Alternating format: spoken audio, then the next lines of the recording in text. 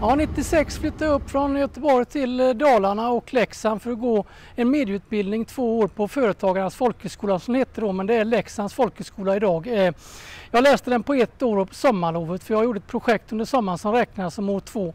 Eh, det var en tid som jag inte vill vara utan utan det var väldigt, väldigt kul och väldigt givande och jag lärde mig extremt mycket och träffade också vänner för livet. En fantastisk tid.